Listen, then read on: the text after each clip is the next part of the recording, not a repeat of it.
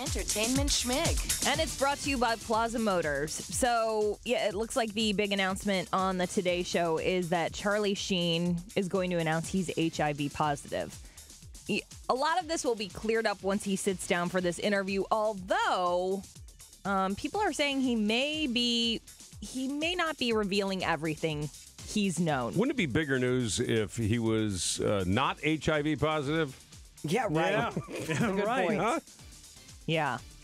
So interesting. Um, there were a couple stories yesterday saying uh, he's known for two years. Then someone uh, who's apparently close to Denise Richards says she's known for about four years.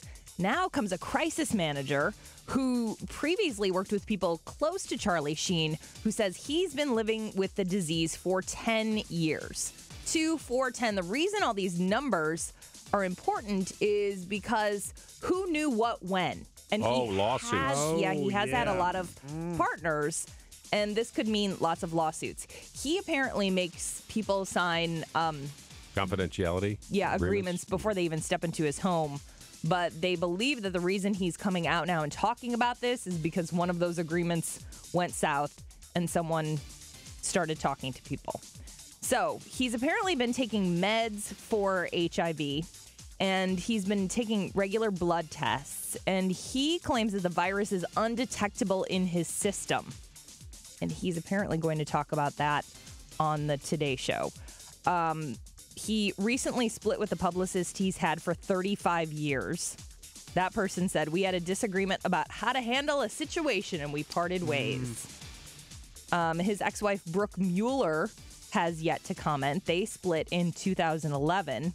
Uh, Bree Olson, remember when she was running around with Charlie Sheen? Yep. The adult star. She recently came forward and said she's not HIV positive, but she had, and she addressed the rumors about quote one of my ex boyfriends from years ago. So it'll be very interesting when he sits down with Matt Lauer, all the stuff he talks about. This one crisis management person who spoke with the New York Post says don't expect him to talk about his drug use. He's not really going to discuss that at all, but it'll be very interesting to see exactly what he does reveal. You know, And- and Emilio's over here. I, I'm hey, hey, I'm the good one. I'm Yeah. Emilio. Not working. I didn't do much. Come on, Mighty Ducks 9. Let's he's, go. he's a fine director, too. Mighty Ducks nine.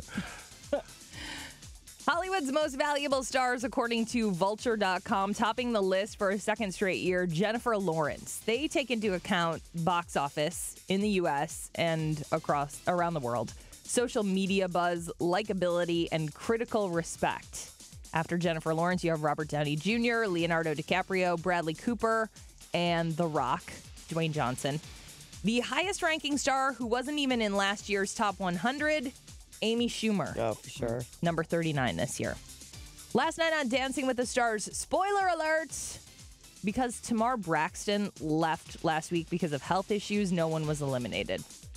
It's happened a lot this season. I uh, so glad that I didn't watch Surprise, you wasted all this time. ever. Bindi Irwin and Nick Carter, though, in the bottom two. I know. That's a shocker.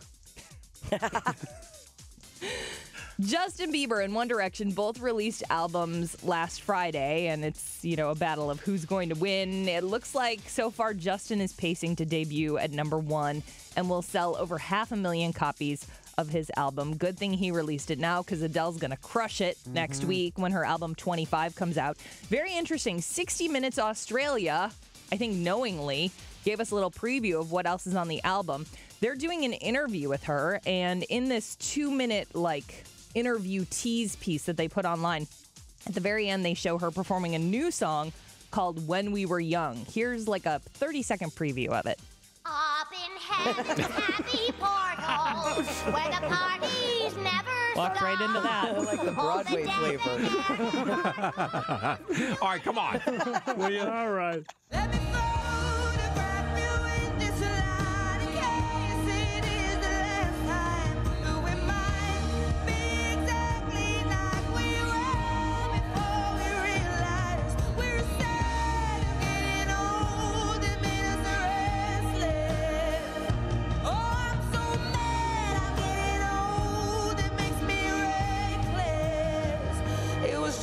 Like a movie.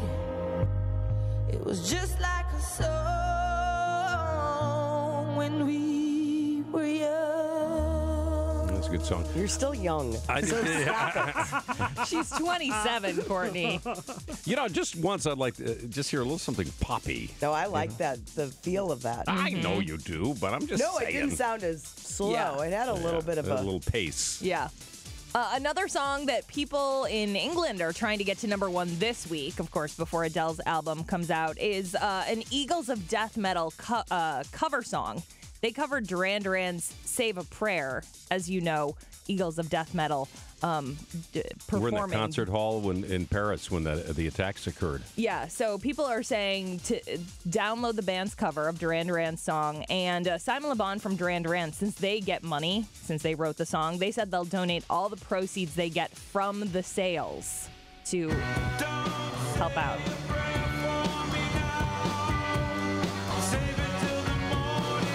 It's a good song. Mm-hmm. Sounds good. I know. Entertainment Schmig. More at 840 and online at y98.com.